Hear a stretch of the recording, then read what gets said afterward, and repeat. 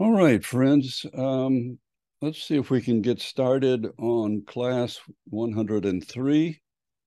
Uh, this class will, we're going to take our time because this is, we're still in the introductory phases of this sequence. And so far as my trying to inform you of what tools we can use to decipher uh, more accurately with the meaning in scripture, uh, particularly uh, scripture that is poetic, and most scripture is to some extent, or at least has different levels of meaning and almost almost always uses symbols. So uh, the slides I have tonight are, are probably going to be longer in length than we'll be able to cover in this one class. So we'll probably just stop when uh, is uh, necessary to do so in about 45 minutes.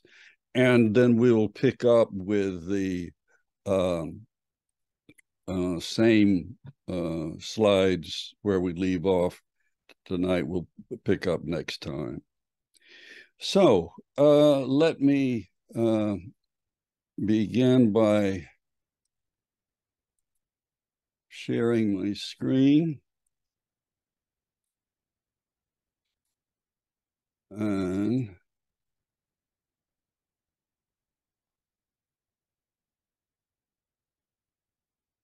why the po prophets are poets. Um, and the same question really uh, is what we mean by why is there indirection? This is something we discussed throughout the first hundred classes about the fact that God, in teaching us, uh, uses an indirect teaching methodology. And as I told you a long time ago, when I became a Baha'i and I and when I became a professor, and I started thinking, well, if Baha'u'llah is the perfect teacher, which we believe him, believe him to be, uh, then his methodology must be the perfect teaching methodology. And what I discerned was that his methodology, like that of most of the manifestations, is largely indirect, as is God's plan. Um, if you read, those of you in the United States read the feast letter for this feast that we are we just had yesterday, uh, then you uh, the quote from the House of Justice letter, uh, I think it was 2019, uh, about uh, how dire things seem, and anybody with good sense, you would think, would uh, derive from that that things are going to be a catastrophic, uh, end up with a catastrophic ending to planet Earth. And yet, as Baha'is, we are or should be sublimely optimistic because we know that ultimately this will bring about uh, the lesser peace once that the nations of the world, and particularly the rulers of those nations, realize there's no other option left. So, indirection is what is behind the use of poetic language, basically. Why the poets, why the prophets are poets? Well, because it's a good way to do a number of things that indirect teaching accomplishes. The first of those is that poetic language explains what you do, don't know in terms of what you do know. Uh, and so, know, particularly this deals with abstraction uh, and so on, but it, but it can even get down to physical things. If you haven't been to a physical uh, uh, environment, uh, say, then you can only explain it to someone in terms of environments that they have experienced. Uh, I think you understand uh, what that means. Uh, secondly, uh, it, it, describes, and this is a similar uh, value of using poetic language or indirect language, it describes the unfamiliar in terms of the familiar. Uh, and so when Baha'u'llah is talking about the intoxicating effect of spiritual enlightenment, he often uses the, the wine, the image of wine, and being intoxicated and drunk with uh, glee and with uh, uh, impassioned, as it were. And that, that's another analogy. Uh, the love relationship, for example, in the Seven Valleys, uh, the seeker uh, is seeking after his or her beloved. Uh, portrays the abstract in terms of the concrete. And there again, you, you, it's hard to describe abstractions directly, and so you compare them to uh, concrete experiences. And here again, the the intoxication of wine is uh, is used to compare the intoxication of being in love. Uh, the, that same analogy works well. Uh, it conveys the spiritual in terms of the physical. So that's really just a, another way of stating the previous one, because spirituality is abstract. Uh, and we explain it in terms of physical laws and principles. So particularly uh, know that uh, we know how Abdul Baha talks about the law of love as the organizing force of the spiritual realm, even as magnetism or magnetic force is the organizing force of the physical reality. So, uh, uh, and he also says, of course, that that phrase I often uh, turn to about uh, each reality, physical reality and uh, spiritual reality, are the exact counterparts of each other, and therefore we can understand each in terms of the other. So we can understand a spiritual law in terms of a physical principle. Uh, I remember one my brother used to like a lot was that we don't break the laws of God. We break ourselves on the laws of God because the laws of God aren't just exhortations, they are descriptions of reality.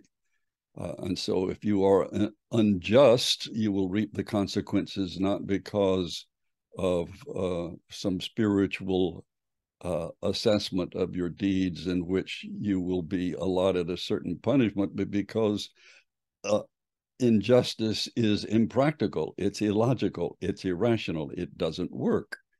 And so ultimately we turn to justice because it is the most logical way to organize our lives.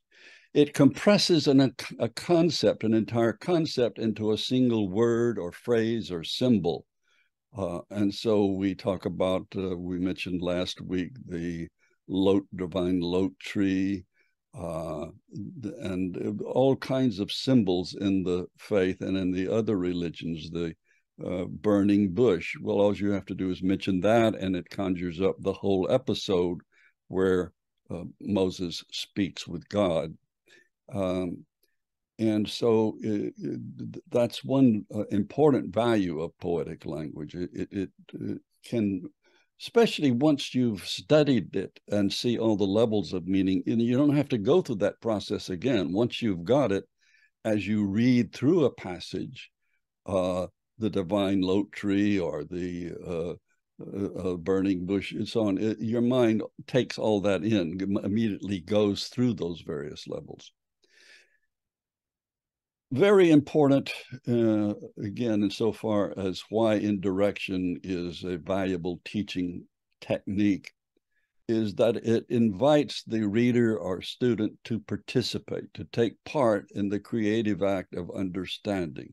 So rather than just saying, here's what this means, and believe me, there, there are many teachers, as I said last class, who, uh, instead of teaching how a poem works, simply say, here's what the poem means and let me show you how it, how it works. Now, what you really want is to instill in the students the capacity to achieve that understanding on their own. And this is what the scriptures want from us as well, for us to uh, um, grasp the meaning by delving into the relationship between the symbols, the metaphors, the analogies, and what the manifestation is saying to us. Another effective aspect of the poetic language, and this is kind of secondary in a sense, and yet because of the beauty of intoning the verses, and we we hear that, of course, as we said before, when especially when someone chants the verse in uh, in the original language in English or in uh, I mean, in Persian or in Arabic, are there there now i'm finding some very fine uh, singing groups online baha'i singing groups that uh, simply uh, put the uh, a verse from scripture into a, a, lyric form and do some beautiful things with it. Um, and of course uh, we are uh, admonished to intone the verses ourselves uh, poetic language provides various levels of meaning rather than just a single interpretation. So, which is, by the way, and I, didn't put this in, and I should have, it, this means that the poetic language is a protection against those who would presume to give some authoritative final interpretation of a verse. And of course, they cannot do it authoritatively anyway but if they try to say, no, you're wrong, here's what it means, well, of course, you can both be right about the interpretation. And well, I did put it in, by golly, it becomes a deterrent to dogmatism and authoritarianism. So, where you had uh, in all of the previous religions, uh, scholars or clerics uh, who would, uh, or divines, who would presume to give you a dogmatic interpretation, particularly when it came to law. And you have that, of course, in Judaism. Uh, I don't know how many of you have seen the uh, the series The Chosen, which is on angelstudios.com. But it's very well done in many respects. One of them is it shows, it gives you a really good look of the uh, Jewish uh, context of Jewish law and authoritarianism uh, into which Christ, uh, the advent of Christ occurred. Uh, poetic language enjoins all readers to become their own scholars rather than relying on the opinions of others. And this is sort of a repetition of what I've said. And it also is a reminder of the first uh, Arabic hidden word that uh, that this is one definition of true justice is that you rely on your own understanding and not that of your neighbors. The, this idea of the poetic or figurative nature of scripture is discussed in my book, uh, The Ocean of His Words, in chapter five, for those of you who are interested. Uh, but most of what is in that chapter we're going to discuss, uh, or we're going to be- begin discussing tonight. Uh, so, what are some of the important uh, keys or figures of speech uh, that are part of poetic language or poetic verse? a symbol uh, now, one thing, uh, let me say up front, uh, we're going to look at a lot of definitions. Don't think you can get these all down in one sitting. Uh, you can't, nor can I explain them sufficiently well in one sitting. Uh, what we're going to do is we're going to go over them, mention them, show a few examples of them. We've already done that a little bit. And then what we're going to do is tackle different verses, some of which I hope you will suggest you would like to see us deal with. And, and we're going to be sort of a team uh, and employ these tools. So, what we're trying to do is look at what are the tools that will help us uncover the veiled meaning or hidden meaning or levels of meaning in Scripture. So, the most prominent one, I guess, well, these aren't in some sort of uh, um, sorted order. They're just uh, as they came to me. But one of the most important ones is a symbol, a thing that represents or stands for something else, especially material object representing something that's abstract. An example would be the divine lote tree, which symbolizes or alludes to Baha'u'llah. And of course, it also alludes to, in some cases, some of the other manifestations.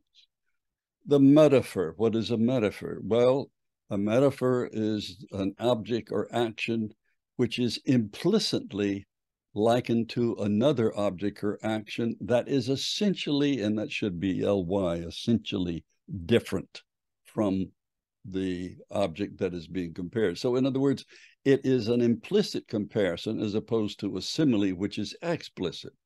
So the it's not stated as a comparison, but you know it is. So, for example, when Baha'u'llah say he is, says he is the divine physician uh, for this age, uh, he doesn't say I am like a divine. He says I am the divine physician, but it's an implicit comparison uh, and a very fine one. And of course, he has the remedy for the ills of this age as a physician. A simile is the same thing, only it's explicit. Now, the key to both of these is that you're comparing essentially unlike things. Uh, so if I say uh, uh, uh, Baha'u'llah is like Christ, that's not a metaphor or a sim or simile. Uh, that's simply a, a comparison. Uh, but if I say Baha'u'llah is like a physician, then that is a simile. So the revelation of Baha'u'llah is like a vast ocean. Or if we wanted to follow up on this previous example, Baha'u'llah's revelation is like a, a physician's remedy for the ills of an age. Personification. Oh, what is personification? Well, this is where an object or a force is described in terms of a human being or as possessing human characteristics. Uh, for example, the evil whisperer who whispers in men's breast. This is a verse from uh, a prayer, uh, and it's capitalized because you you do capitalize personifications. It doesn't mean that there really is an a being who's the evil whisperer, a Satan. Uh, it simply means this is a personification of the concept uh, of that longing that we have in our in ourselves to do that which is best for us and usually at the sacrifice of what is best for everyone but particularly what is best for ourselves and so the evil whisper would be the temptation to gamble or uh, or violate any of the laws which deter us from doing those things that are harmful to us a persona is different from a personification. This is a case, and I, we mentioned this last time, where the speaker is not the author, but a character that the author has created to narrate the thing. So, in other words, when we looked at the 23rd Psalm in the last class, the speaker is not David or whoever composed the psalm, it is the personification of a sheep. Um, I love thy creation, hence I created thee. Therefore, wherefore do thou love me that I may name thy name and fill thy spirit, fill thy soul with the spirit of life. This is uh, Baha'u'llah writing, but it is in the voice, the persona of God.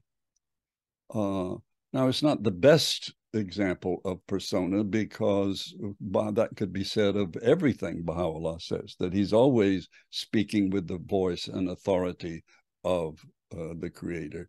But this is pretty explicit. This, this is, in effect, a reiteration of what is called the hadith of the hidden treasure. Why does God create anything at all? Well, he creates that he might be known. And so if you look in the notes of the Kitab-i Aqdas, you'll see a very lengthy and very bountiful expression, I mean, description of that hidden treasure, uh, of the hadith of the hidden treasure, and some examples in the writings of Baha'u'llah where he uh, reiterates that concept. Why does God create us? So that we may be able to benefit by uh, having a love relationship with God uh, analogy, a comparison between a rela- or a relationship between two actions or objects and a relationship between other actions or objects. Uh, so, for example, uh, if you uh, read this verse, little wonder then if the treatment prescribed by the physician in this day should not be found to be identical with that which he prescribed before. What he's saying is that, that because conditions change from age to age, we should not be perplexed if the laws of Baha'u'llah are different from those of Muhammad, or in the case of Christ, that he prescribes different laws uh, from those of the Judaic uh, legal uh, uh laws of the Judaic uh, religion. Allegory. What is an allegory? An allegory is a parable or a narrative in which the characters and actions have a hidden meaning in which they represent or allude to other persons or actions. And one of the best uh, examples I, I, always use in explaining this is the little anecdote uh, that occurs in the Seven Valleys, where it's explaining that true knowledge is knowing the end in the beginning. So the valley of knowledge is explained in terms of a lover who sighed for long years in separation from his beloved and wasted in the fire of remoteness. From the rule of love, his breast was void of patience, and his body weary of his spirit. He reckoned life without her as a mockery, and the world consumed him away. And so here the lover is the seeker, the beloved would be nearness to God, and again, these are not authoritative interpretations. This is just one way of looking at it. And the narrative is discussing the search for attaining that longed for nearness.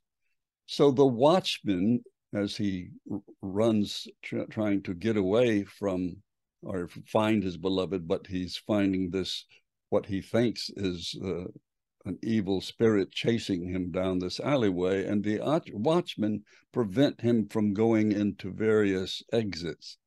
Uh, uh, one interpretation of these watchmen would be the laws that bar us from choosing, making wrong choices as we're trying to find the beloved. And then he leaps over the wall uh, and where he finds his beloved, and that might be a, a leap of faith a term that's used a lot in the, the Protestant religion. So, those are some of them. They're not all of them. If you look up the term figures of speech or rhetor uh, rhetorical devices, you can find many, many, many others. But these are the principal ones that we will use. We will bring others in later. So we want to begin by understanding very specifically how these things work so that we can use them as tools uh, and experiment with them up front, and then we will uh, co uh, combine them all as we go through a verse and try to see which ones we can find. So let's begin with uh, what's called a Venn diagram, uh, or set theory where we uh, explain what is a metaphor. Uh, and these terms uh, may sound unfamiliar and somewhat academic, but there's not any terms that are much better. But uh, let me explain what they mean. Again, a metaphor is an implicit comparison between two essentially different things. So the tenor is the thing you are trying to describe. So let's say this is the manifestation. The vehicle is, as the term might imply, the comparison of this thing, Baha'u'llah in this case, to something that is essentially different in nature. So we say physician or nightingale or so on. But let's say, let's stick with physician the meaning is what these essentially different things have in common. And so the meaning is the physician tries to cure the patient, the ills of the patient, and Baha'u'llah as a manifestation tries to cure the ills of humankind. So the meaning is what these essentially different things have in common. Uh, so the tenor, what is being described, the vehicle, what it is compared to and the meaning, what the essentially different things have in common. What do these two things have in common? so let's uh, take an example of the metaphor from the writings. In this case, we, will use the perfect mirror analogy. The manifestation is like a perfect mirror. How are they alike? Uh, and of course, the uh, usual explanation is that the manifestation perfectly reflects the attributes of God, whereas we can reflect the attributes of God he does so flawlessly. And so the meaning uh, is that while we have the ability to manifest all the attributes of God, uh, we never will do it perfectly. We'll never do a single attribute perfectly. The manifestation does all of them, manifests all of them, and does so flawlessly. And so that's the meaning. Uh, now, of course, the, the same terms that we use in explaining the metaphor work for a simile too, uh, uh, but it's just explicit. Uh, now we go to symbols.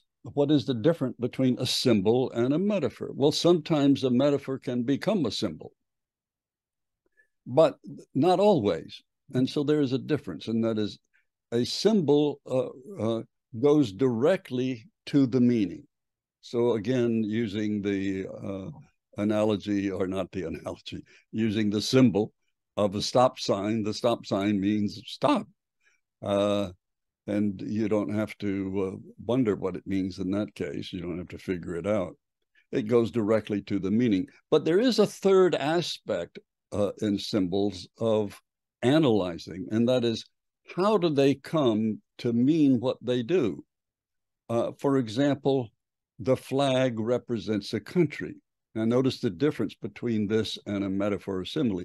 You're not saying the flag is like the country or the flag is the country. The flag symbolizes the country in some way. And of course, with the American flag, the stars represent the, the, uh, the uh, states, the bars represent the colonies, the original colonies. Um, and so when you find out how the symbol means what it means, then you are discovering what is called the the you are recovering the allusion.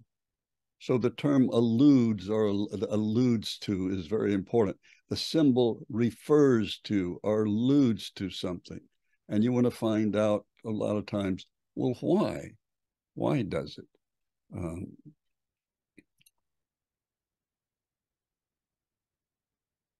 Of course, ultimately, all words are symbolic. I mean, a word is not a thing, it's just a, a, a, a gathering of certain sounds or letters uh, that represent the sound. So the sound comes first, the language comes first. Uh, interestingly, and this is important to know, and we'll discuss this more in another class, poetry is the first form of literature that emerges in a culture. And I'm talking about as early as early tribal cultures, uh, because it was chanted, usually collectively, or told in stories around the fire in the evening. The stories would usually about be about the history of the tribe and its heroes and that's how the stories, the histories were passed on. Probably much of the Old Testament was carried on in what's called the oral tradition or the oral formulaic tradition. Uh, this is something that we as Baha'is need to uh, do as well. The Guardian was very insistent that communities keep records of their own history because in the future, while you may think that you're a member of a very insignificant LSA in an insignificant village or something. When that village has hundreds and thousands and millions of people, they'll want to know, well, who started this? Who, who to whom are we indebted for uh, beginning this? So here, tree symbolize the word tree is a symbol of this thing. It is not this thing, nor is it like this thing. And so how did it come to be this thing? Well, there you get, as I said last time, into the science or the uh, the study of etymology, the origin of words. And that's a very fascinating thing to get into. Uh, the special place of the English language we discussed last time. Shoghi Effendi chose to do authoritative translations in English, uh, and we'll discuss his background later about uh, how he did this and where he did this. The present authoritative translations are best on, based on his style and specific word choice. Now, what I'm talking about here is that, as I said before, he chose the eloquence and beauty which he felt was a lasting beauty, even as the architecture of the World Center is based on a classical tradition, although it's a, a very creative take on it it is still has the columns and so forth that um, call to mind the classical tradition because it's an enduring tradition. Well, he felt the same thing was true about the Elizabethan English of Shakespeare. That uh, and so he uses these archaic forms, the these, the thous, and so on. Um, and when, and I've said this before, but worth saying again, present authoritative translations are best on his style and specific word choice. What I mean is that the uh, resources at the World Center have put together uh, a program where if you come across a word in Persian or Arabic and you want to know how the Guardian translated it, uh, you can look at that uh, if you are working at the World Center uh, I have not, but uh, and and it will pull up all the different places where the Guardian translated this word and what English words he chose and in what context to represent that word. The House of Justice looks to the English translation of Shoghi Effendi when making decisions based on the sacred text. Again, we mentioned that before. Shoghi Effendi specifically chose the Elizabethan style because of the classical beauty of the King James translation of the Bible. And I said the same idea behind the architecture. The English language, as we said last time, is extremely rich. Uh, by that we mean how many synonyms you'll have for a particular idea or concept or object, and thus can furnish precisely the right sense of nuanced words and concepts from the original Persian and Arabic. Uh, you have lots of choices, and of course, this is the value of uh, the thesaurus, uh, which is very helpful when you're trying to emulate or translate the uh, works of the Baha'i writings uh, figures of speech called kennings, or these were metaphors uh, used back in the earliest form of English language. English language dates from around the fourth century when it became a distinctly different language from the uh, uh, Scandinavian languages from which it derived, uh, West Germanic languages from which it derived. And so in uh, the uh, the what's called Anglo-Saxon or Old English language, the earliest form of the English language, uh, because it was not rich at the time, it would use compounds to and poetic compounds to represent uh, uh, objects, concepts, and so on. So the sun is called Helfanes Jim, are the gem of heaven. Uh, the sea was called Svanrada, or Swan's Road. The uh, human body was called Banhus, or the, the house, the bone house that contains the human body. Uh, a sword was called Bedolima, which Bedo is battle and Lima, light or flame, really, uh, so the flames of battle. The, a ship was called a Wegfloter, uh, and uh, that which flows over and way can be way or it can be uh, wave, so that which floats over the waves. Uh, the Helfajima, I love this one, is the eye, which is the the gem or uh, of the uh, of the head the gems of the head. Isn't that beautiful? So you can see how poetic.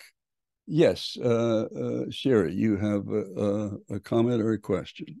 Yes, please, John. So uh, the root of these words, is it German? Is it Scandinavian? Is it from the Vikings? What is that? Uh, it oh. the Anglo-Saxon languages is a synthesis of about three different languages: Frisian, Franconian, uh, uh, but it's in the West German group. So it becomes by the fourth century its own language, but it is it's similar to about three different languages. Thank you. You're very welcome. Uh, this is the uh, the poet what poetry looked like 1500 years ago in English. This is from the very famous work Beowulf. Uh, and you can see it doesn't have a rhyme scheme, but it does have a meter.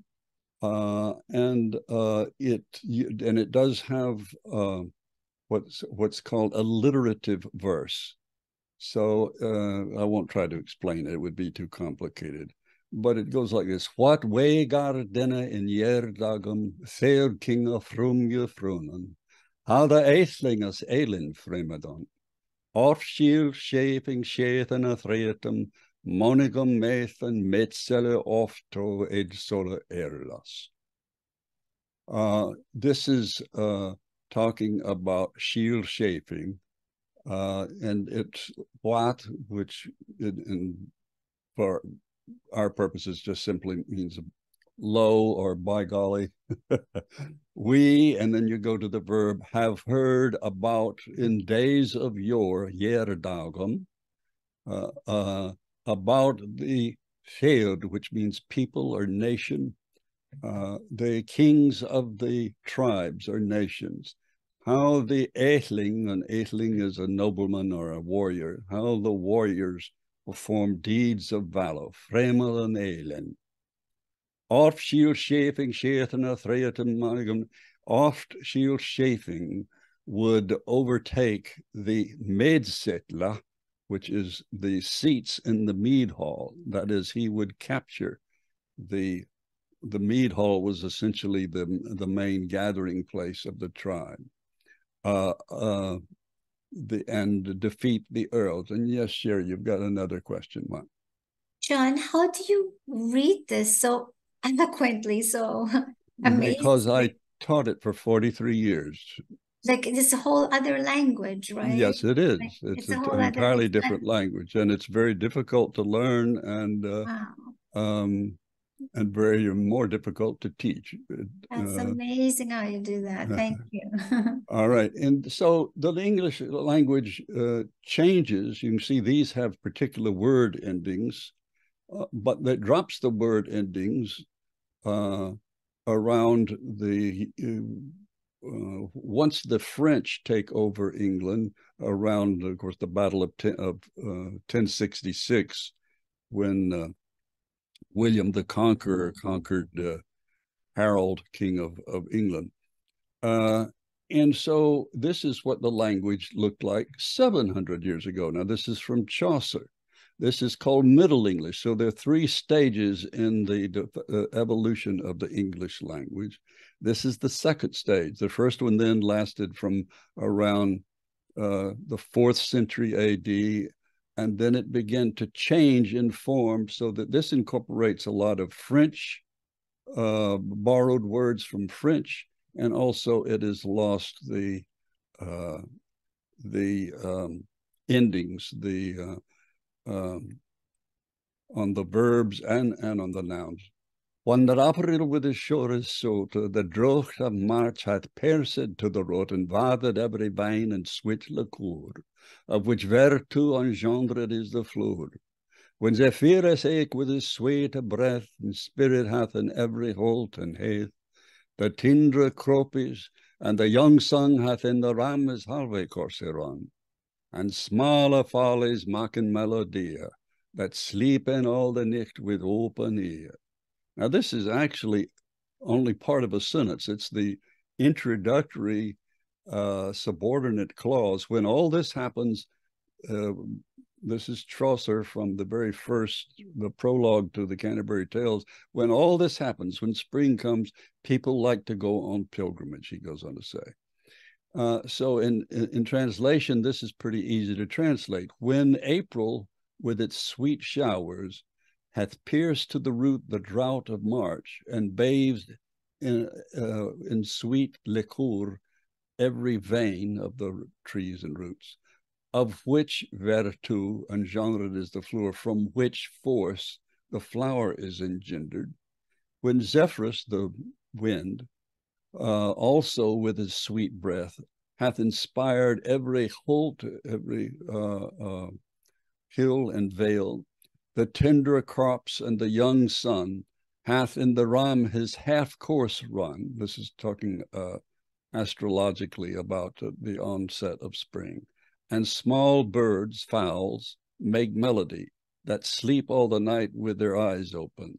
Then longing folk to gone on pilgrimage, and then do folks long to go on pilgrimage. So uh, those are some of the uh, uh, the, the, the things you you might want to know about this language we're looking at uh, through the eyes of poetry uh, that uh, the Guardian chose to make the principal means by which we can understand what is written in uh, Persian and in Arabic, uh, though they are beauteous and valuable in their own. And so uh, I thought as an experiment, and we've we've looked at this briefly before, but what's uh, interesting, of course, in one sense, is that uh, this experiment with the parable of the sower, which is one Christ used, when his um, own followers say, "Why why do you use parables? Why don't you just speak directly when these people, when these scribes and Pharisees ask you questions?" And his answer was because you understand the spiritual uh, nature of what I'm saying. They are legalistic, they don't get it. And so basically, he is implying I am forcing them to understand this by giving them a puzzle, an analogy. And those who get it uh, will benefit therefrom. Those who don't will be barred from understanding. And what's important about this particular parable, the parable of the sower, is that Christ himself deciphers it. He explains what it means so we can guess what it means, but then he gives us an authoritative interpretation. So this is from Matthew 13. And he spake many things unto them in parables, saying, Behold, a sower went to sow, and there's talking here about uh, a, a, uh, someone who's sowing seeds to grow a crop. And when he sowed, some seeds fell by the wayside, and the fowls came and devoured them up. Some fell upon stony places where they had not much earth, and forthwith they spring sprang up, sprung up, because they had no deepness of earth. And when the sun was up, they were scorched, and because they had no root, they withered away. And some fell among thorns, and the thorns sprung up and choked them. But others fell into good ground and brought forth fruit, some a hundredfold, some sixtyfold, some thirtyfold. Whoso hath ears, let him hear. Let to hear, let him hear. And this is referring to a, a passage from Isaiah where he says, "The people's hearts are hard and their ears are are filled with um, with wax and they can't hear, nor do they understand. So there are four places then that the seeds are sown some by the wayside of the path, some in stony places, some among thorns, and others into good ground. So that's the first thing. We know that the sower uh, is the manifestation is Christ himself. The seeds are the words of Christ. And he's speaking to people of different capacities from different situations. Uh, and so, what are these situations? Well, obviously, the good ground is someone who's receptive, who's ready to hear the word, and they bring fruit. And of course, the fruit in this case, Christ often compares his followers to workers in the vineyard. So does Abdul Baha. Uh, and of course, they bring forth the grape, which brings forth the wine, uh, and that is the fruit of the of the vine uh, that they bring forth. And hence, the the idea of imbibing the wine at the Last Supper is, uh, he says, "Take this in remembrance of me," and there it represents the sacrificial act of Christ giving His blood but in other cases, it represents the spirit that flows through the believers. And so, what you can do, and we're getting close to an end here, so we'll pick this up next time, but let me just show you what we're going to do. We're going to take the vehicles of these metaphors and put them here the tenors, the things we're really talking about here, and the meaning we're going to put here. Uh, now, in some cases, you will know the tenor, but not the vehicle. Some, in other words, in, in each poem or each verse, you will you're trying to fill in what you do know and use it as sort of a wedge, if you will, or a, a leverage to pry out the meaning. Um, so we'll leave off here, uh, and we'll pick up here next time. Uh, and eventually, once we've sort of experimented with these tools, we will then take passages. As I say, I wish you would go ahead now uh, over the next few weeks and send me via email uh, passages uh, or works, but we, would rather uh, begin small with uh, just some passages you would like to see us try to understand or explain. Now, of course, the first place you want to look, if, if it's available, is to the authoritative text. And we'll show you how to do that too. Okay, friends, let me stop sharing for now, and uh, we will begin our Q&A.